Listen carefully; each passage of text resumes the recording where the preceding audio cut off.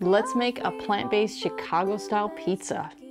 Welcome back to the Whole Food Plant-Based Cooking Show where we make plant-based cooking easy. I'm Jill and today, boy, do I have a treat for you. We are gonna make a Chicago-style deep dish pizza because I am a pizzaholic. I absolutely love pizza and Chicago style is one of my all-time favorites. It's all those, that deep crust, all those toppings just melded together, so delicious. We're putting that out today, even though today was supposed to be our potato, sweet potato gnocchi recipe. Uh, but this turned out so amazing that we were so excited to get it out, so we decided to do that one this week instead. Uh, before we get started, I just want to give a shout out to a little girl named Fleur uh, who's been working her way through our recipes and making them. So hi Fleur, I hope you're gonna enjoy this recipe as much as we do. All right, so the first thing we're gonna start with is our sauce. So I've got a small onion here, just diced up pretty fine that we're gonna get in our pan. We're just gonna saute it a bit just to get some of that uh, rawness cooked out of it. You don't need to add any oil to your pan. There's actually natural oils in the onions that will keep it from sticking. But if it starts sticking before they get fully cooked, you can always just use a little bit of water or vegetable broth just to keep it from sticking to your pan. So we're gonna let these cook just a couple more minutes until, or, and then we'll add our other ingredients.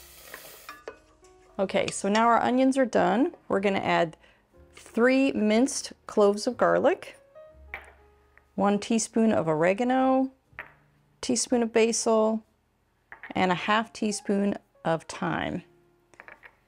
We're just to stir that around a little bit just to get those the heat from the pan to get the garlic cooking a little bit here. And then we're to add our crushed tomatoes. So this is one 28 ounce can of crushed tomatoes.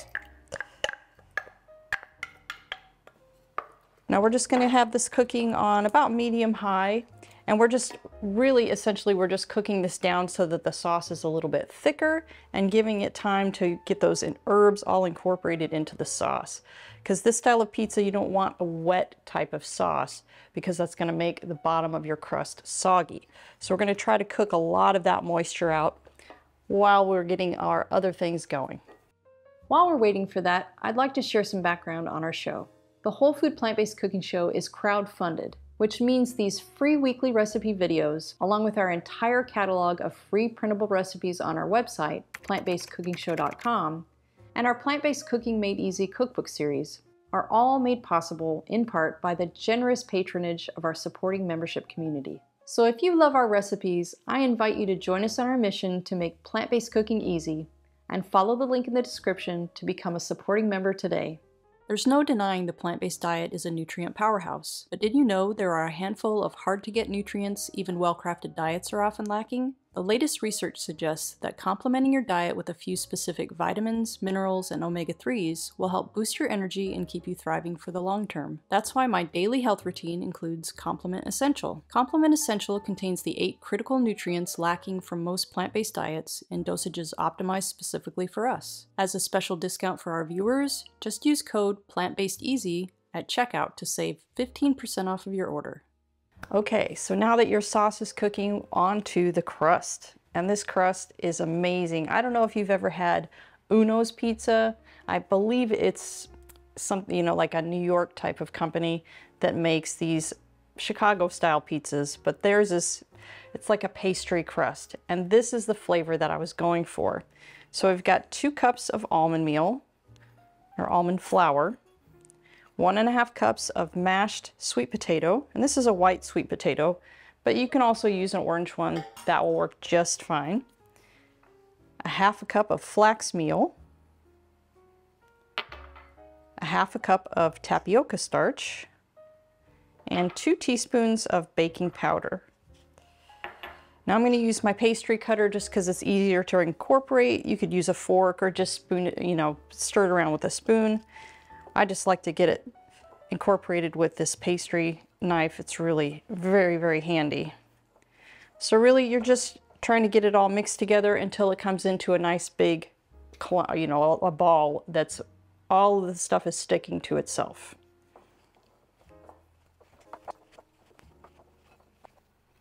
Okay, now that I have it basically all stuck together, I'm just gonna press it into a ball just with my hands. And I already have my oven preheated to 375 so that when we're done here, we can just pop it right in the oven.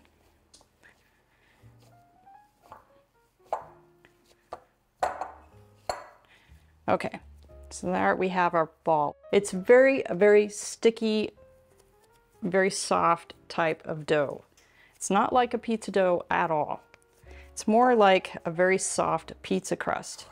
So the next step, you're gonna need a couple pieces of parchment paper, a rolling pin, and then I'm gonna do it in a nine inch springform pan because I love popping that springform off and looking at the pizza just in its free form state. But you could make this in a cast iron skillet or a pie plate, plate would work just as well. You might just have to oil the plate a little bit so that your crust doesn't stick. But we're gonna use parchment. So I'm just gonna mash it down a little bit flat with my hands. First, trying to keep it as round as possible. And this crust is gonna go all the way to the edge of these, this parchment paper. All right. So now you're just gonna, just like a pie crust, you're gonna roll out your pastry crust all the way out to the edges of your paper. Or if you have your, uh, your spring form or your pan, you can kind of look at the size by putting it on there and make sure that you have at least a good inch and a half, maybe two inches past the edge of the, the pan that you're going to use because that's going to come up around and form the sides.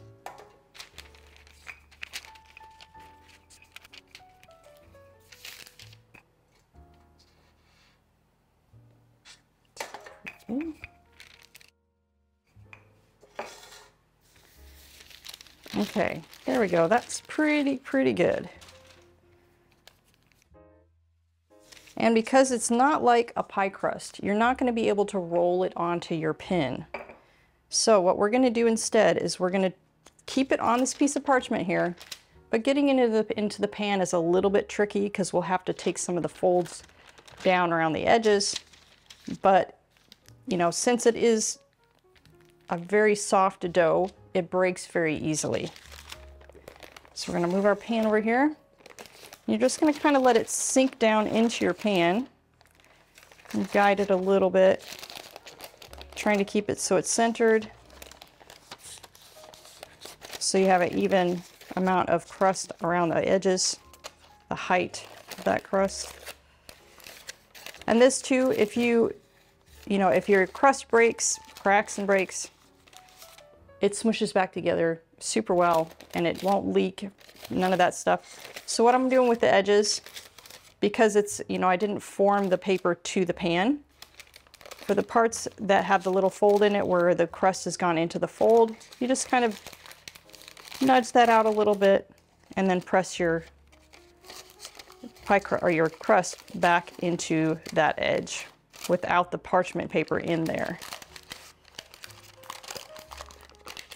Because if you don't do that, then when you try to take that spring form off when it's done baking, you're gonna have to try to get that parchment paper out of those crevices and it could break your crust.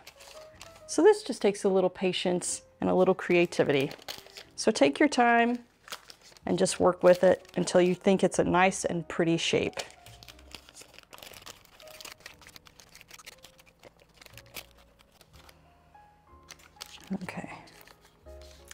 All right, there we go. So now that it is ready to go, we're gonna pop it into the oven for 10 minutes just to kind of seal the surface so that when you do put those toppings in, it is less likely to make that crust soggy. So now that our crust is in the oven, we're gonna get onto the cheese sauce. So I've got a cup of cashews, two tablespoons of tapioca starch. And that is going to allow it to have a little bit of a, a, you know, mozzarella has that kind of stringy, slippery consistency. So it's going to give it that feeling. One teaspoon of onion powder, two teaspoons of tamari, this is a low sodium tamari, and two tablespoons of apple cider vinegar and one cup of water.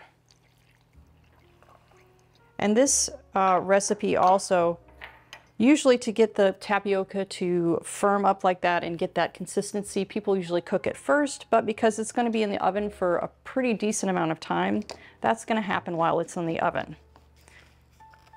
So all you're gonna do is just blend this until it's really silky and creamy.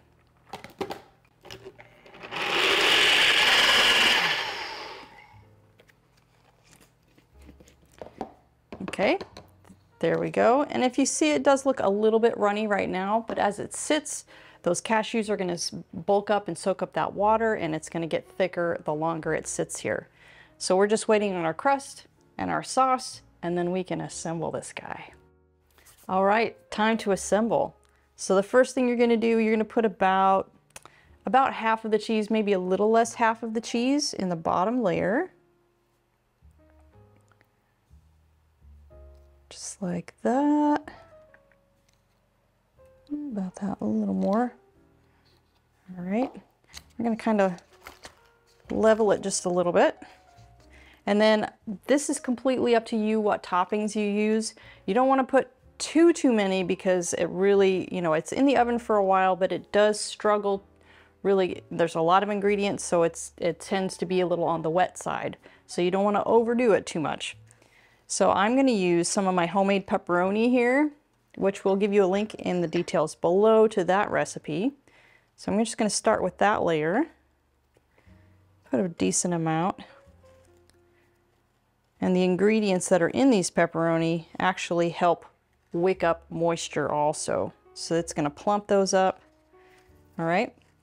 Sprinkle on some olives. These are just some sliced Kalamata olives. I really like the punchiness of the flavor of olives.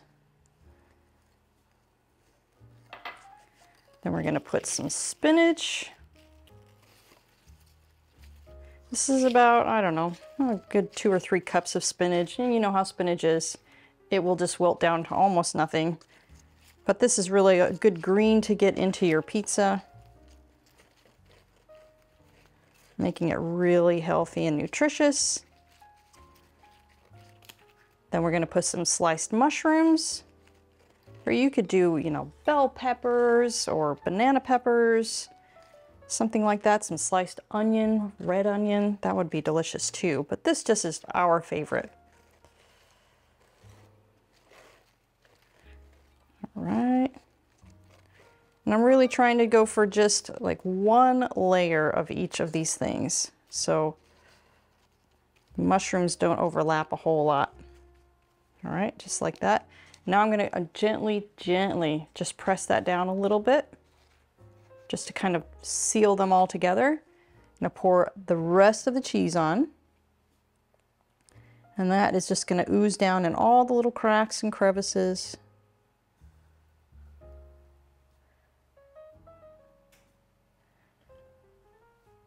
And then to make it the true Chicago style pizza, the sauce is on the top, which you never see, right? You think you would put the sauce somewhere in the middle too, but the sauce is going on the top.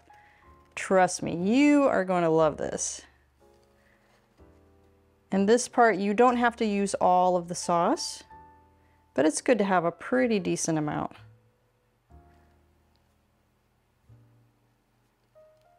because you don't want it to overflow over your edges because then it'll just make it a big sloppy soggy mess. All right, so there I'm left with just a little bit of sauce left. I'm gonna smooth it out just a little bit.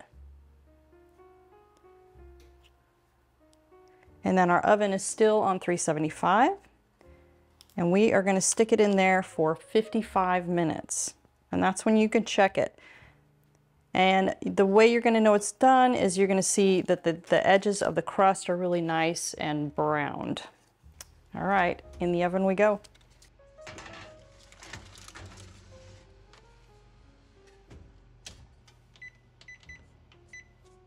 Okay guys, it is out of the oven. So now all we have to do, I, I did let this sit here for a good 10 minutes or so. You don't want to pop the spring form off right after it comes out of the oven because you risk the sides collapsing and it oozing all over. So let it sit for a few minutes. Now we get to pull the spring form off. All right, so far so good. Oh, look at that. All right, you got to come in for a closer look for this guy. All right, so I'm gonna let this sit for just a few more minutes because it's scalding hot and then I'll meet you at the table for a taste. All right, our favorite part. This, I already know that this is amazing because we have been taste testing for a while. And it is unbelievably delicious. Get out a nice slice here. Oh my gosh, I wish you could smell this. It smells so good. And look at that. Look at how it holds all together. That is just amazing. But what's even more amazing? The taste. That's a big bite.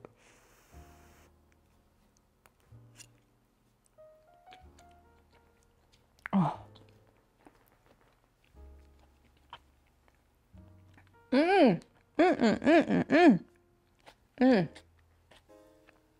A cheese is so creamy. The crust, buttery and rich. Mmm.